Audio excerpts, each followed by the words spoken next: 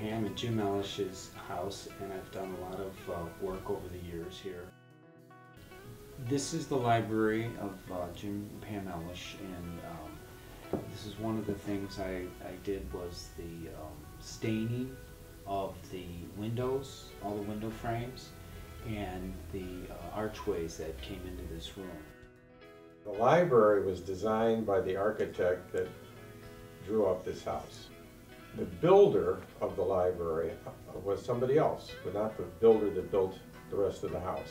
They didn't do the windows because they couldn't do the windows. The windows came in from a window manufacturer, and all the window frames were in raw wood.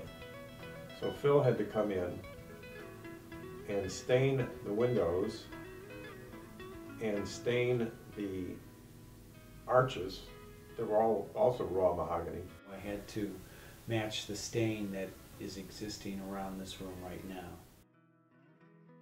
The wallpaper in this house is very special. We actually went to Paris and London to buy the wallpaper.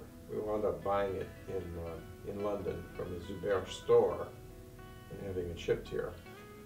The wallpaper in the dining room was done in the 30s from wood blocks that were done and uh, created in the 17th, in the early 18th century. And they're still printing on these wood blocks today. Phil had to restore a lot of it because some of it were outside walls and there was some damage. And if you take a look at it, he had to glue back carefully some of the wallpaper that pulled off the walls over time and take puckers out and do, it's very difficult to work with. Then we decided to use Zuber wallpaper here in the hallway and in the bathroom, which again was Phil's idea because he said we have extra wallpaper, how about using it in the bathroom? There was some leftover paper and we decided to uh, hang it in the powder room. And I did a specialty finish in the, on the walls to kind of blend it to soften it up to make it look really nice.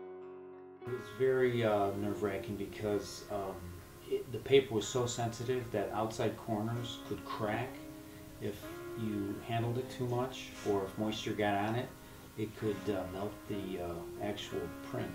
You have to line it up right, you have to use the right kind of glues, uh, not typical wallpaper. When I was first um, shown the paper, I was very um, surprised that uh, Jim put so much uh, confidence in me because of the nature of the wallpaper. It was a custom hand blocked wallpaper that was made from gouache, which is water-based uh, ink.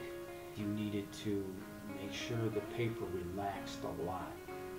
That's the key to good wallpaper hanging is you got to make sure that the paste is saturated into the backing so um, you can uh, work with it.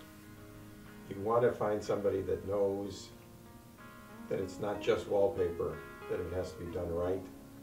And I believe he did some research to find out, he even called him if I remember, to find out what kind of glue to use.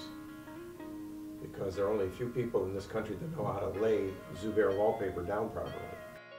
The fireplace, which is um, in the living room, was heavily painted so much that all of the detail was taken out of it. They wanted to replace it, and I said, well, let's see if we can first strip it. So um, I used a, a clay-based stripping technique, which required um, uh, packing on this clay-based stripper and then putting paper over the top of it.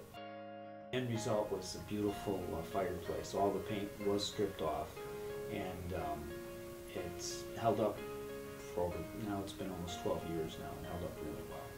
Well, my wife and I are both artists. We're very quality conscious and we don't trust a lot of people to do a good job. And Phil has proved that he does a great job. He understood the intricacies of a house like this. And it required a lot of restoration and um, new building. I mean, this home is twice the size that it originally was. What I like most about it is the um, idea of being a part, first of all, a part of someone's actual idea or dream, and to uh, actually um, be challenged. I mean, I think those are one of the things is the challenging part to accomplish something that uh, isn't uh, the norm.